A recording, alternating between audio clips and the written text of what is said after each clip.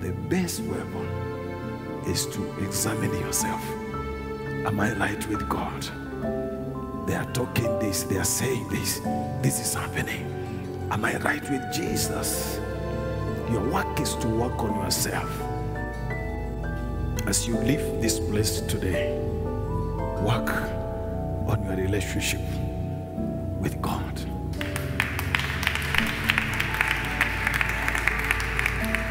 Jesus Christ will work on what surrounds you, including your enemies.